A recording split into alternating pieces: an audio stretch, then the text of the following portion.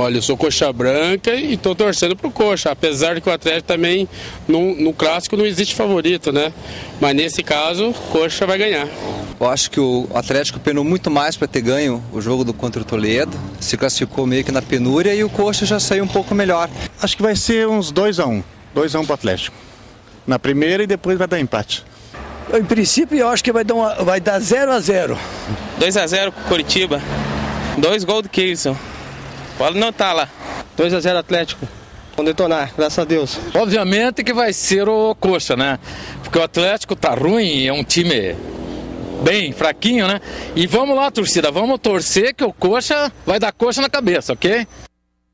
Ai, meu Deus do céu. Tá no ar para você o Spot Show desta terça-feira, dia 22 de abril do ano de 2008, já em clima de decisão. O Atletiba na grande final do Campeonato Paranaense Estadual 2008. Torcedor já falou, agora na mesa. Vamos ver se a galera tem coragem de falar. O primeiro é Juarez Vilela. Vai dar o que na final aí, Juarez? Boa tarde. Boa tarde. Espero que dê Atlético, né? Espero. Mas... Espero, espera duas semaninhas só. Gente Ah, vai- então tá Mas bom. vão ser dois bons jogos, eu acho. Quer Os dois arriscar- times que mereciam estar na final mesmo. Quer arriscar o placar dos dois jogos já ou não? Eu acho que 1x0 no Couto Pereira e 2x0 na Baixada. Então tá legal. Provocações à parte. Ricardo Justus daí vai dar o que na final? É uma semana atletiva, é uma semana agitada, é uma semana bem vivida pelas duas torcidas. Com certeza, no, no Couto vai dar coxa 2 a 0 e na Baixada 1 a 0 para o Curitiba também. Então tá legal. Paraná Clube tá de fora. Paraná tá de fora dessa decisão. Vocês falaram que não vai nem falar, não precisa nem falar hoje no programa, não é verdade ou não? Não, não, é, Hein? claro, é, tem- eles têm Os Copa do caras Brasil. falam né? no- nos bastidores depois não assumem no ar. Brincadeira. Davi Formiga, tudo bem? Paraná tá na Copa do Brasil. Tá fora a decisão do Campeonato Paranaense, mas continua vivo na Copa do Brasil. Boa tarde, Moura. Boa tarde, amigos da mesa, vocês de casa. É, Paraná agora muda seu foco para a Copa do Brasil. Aquele negócio, até o Brasil de 82 não ganhou a Copa do Mundo, né? então nem sempre o melhor vence, o melhor disputa aí as finais. Agora o foco é Copa do Brasil. Já, o Paraná já mostrou que com o Inter tem um, um belo time e pode seguir adiante nessa competição. Então, com você, o Spot Show desta terça-feira, contando com os representantes dos principais sites, das principais torcidas da capital do estado do Paraná. Não esquecendo de parabenizar a equipe do Toledo, que fez uma excelente campanha, não perdeu em casa, se não me engano, só teve um empate lá na cidade de Toledo, no 14 de dezembro. Portanto, parabéns à equipe do Toledo, parabéns ao elenco, comissão técnica e também ao torcedor aí da cidade de Toledo que acompanha o Sport Show pela Rede Mercosul. Estão de realmente de parabéns e tomara que continue esse trabalho sensacional ainda neste ano de 2008 e também para o ano que vem. Em ritmo de decisão, e já pinta uma polêmica. Quero saber com relação à torcida do Atlético, Juarez Vilela. O torcedor atleticano espera que venha um árbitro de fora ou pode ser um árbitro da casa mesmo para pitar a grande decisão? É, com certeza o sorteio da bolinha vai cair o Heber Roberto Lopes, né? É impressionante como esse homem tem sorte de pegar clássico decisivo para pitar. O Atlético provavelmente vai pedir árbitro de fora, é, o adversário não vai aceitar, não consta no regulamento, seria um pedido agora somente do Atlético. Mas acho que também tem que passar por cima disso. Tem que... Mas já está definido? O Atlético pede realmente um árbitro de fora? Não, não, não está definido ainda. Não? Mas é, é só, somente um palpite mesmo, mas eu acho que vai, vai solicitar. Que seria uma boa, mas. Justus, não o que, que você acha? Ó, particularmente, eu acredito que é, a opinião do torcedor encarar o Roman de novo, porque daí seria o Weber num e o Roman no outro.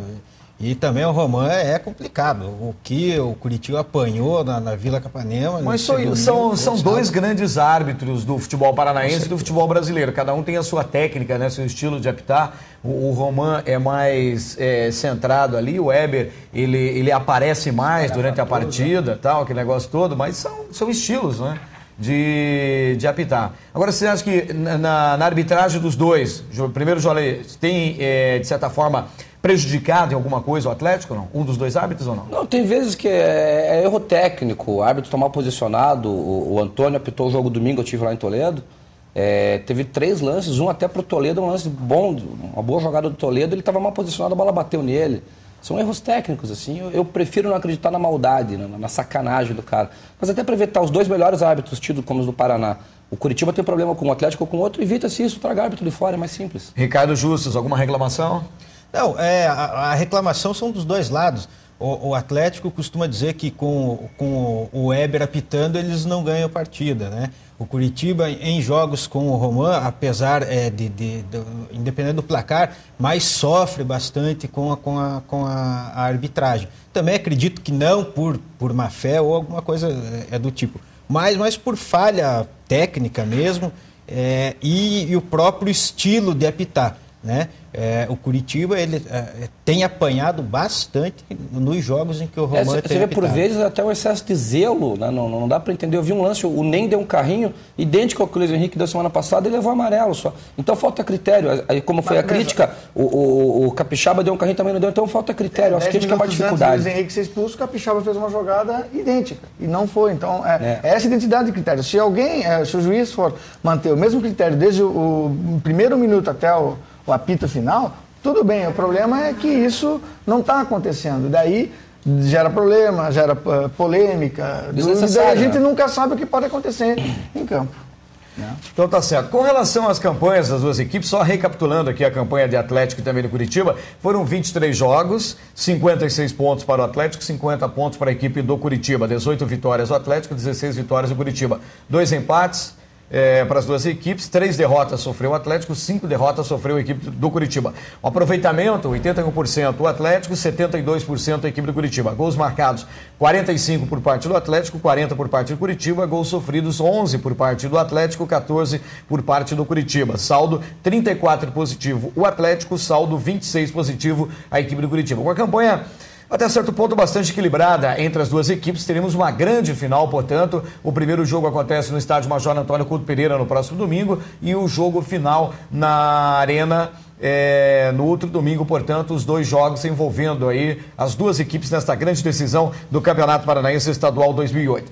Já com relação aos times, meu caro amigo Jorez Vilela, o que, que a torcida está mandando lá com relação à questão do time? Acreditando 100% no elenco, no atual elenco, que é praticamente o elenco que vai disputar o Campeonato Brasileiro? É, a gente espera que pelo menos seja esse time, né? O nosso medo é perder alguns dos titulares, né? O Valência acabou de renovar o contrato, é um jogador muito importante. O Danilo, um jogador que tem propostas para sair e vem vindo muito bem. É, eu não vi nada, ainda eu escrevi hoje até sobre a minha opinião, acho que o Ney Franco está jogando de uma maneira muito defensiva. O 3-6-1 não deu certo e não dará certo na final. Talvez ele colocando o Léo Medeiros na meia, o Netinho abrindo bem na ala e deixando o Pimba flutuando ali para chegar junto do Marcelo Ramos, pode ser. O Atlético está com uma dificuldade grande de fazer gols. Né? Até domingo conseguiu criar boas oportunidades. Eu tive lá em Toledo, o pessoal do JD, mandou um abraço para eles aí. E, mas o Atlético conseguiu chegar com mais constância ao ataque, o que não vinha acontecendo nos últimos jogos. Se ficar só se defendendo no Couto Pereira, vai ser complicado. Eu acho, eu acho complicado reverter. Eu acho que qualquer que seja o marcador, o primeiro resultado vai ser muito importante. Ricardo Justus, no site Coxanautas, o que está rolando? A torcida acredita no time, acredita no elenco? Ah, tá, tá- tá acreditando agora é esse grupo, é esse que tá, o jogo técnico não vai ter, vai ser na emoção, na garra, na disposição. Quem errar menos é, leva as duas partidas. É, hoje, agora, ao meio-dia, entra no ar uma matéria com o René Simões, desejando sorte e, e uma dose de incentivo aos jogadores é, e ao torcedor.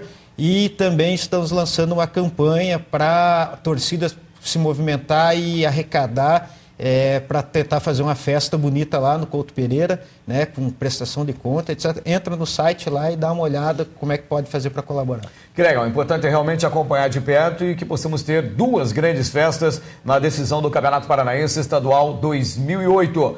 Pluri, peça agora o Pluri, o pacote de serviços da Brasil Telecom, telefone fixo, internet, banda larga e Pluri Amigos em um mesmo plano. Quer saber?